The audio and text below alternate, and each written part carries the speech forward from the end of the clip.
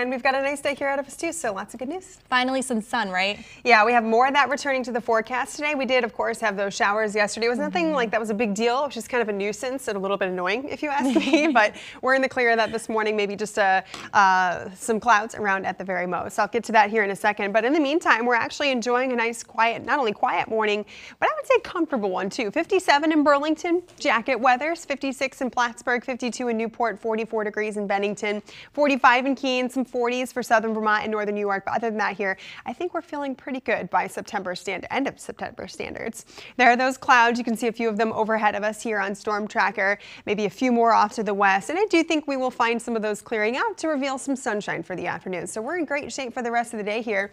Not nearly as damp as it was yesterday and maybe even a couple degrees warmer. So that's some good news too. Lunchtime, 64 degrees, a partly cloudy sky, and we end up with a little more sun as the day goes on and those clouds decrease. And about 68 or so for the afternoon hours. I think we'll have reached that 70 mark in Burlington and even slightly past it in some places this afternoon. I guess, again, especially with the help of that sunshine, which as you can see, comes out really nicely towards dinner time and right before sunset. Doesn't last though. In fact, clouds increase overnight. You're going to find some spot showers in the overnight hours and through your Thursday morning. Like yesterday, nothing that's going to be too big of a deal.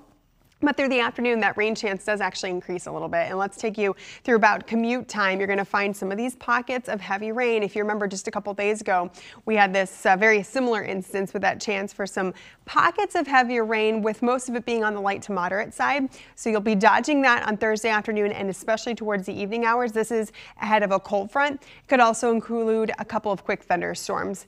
Brief though, nothing super widespread. Thursday is not a washout. And once that's out of our hair, Friday, sun comes back out. It's going to be a beautiful end of the work week with a mostly clear sky.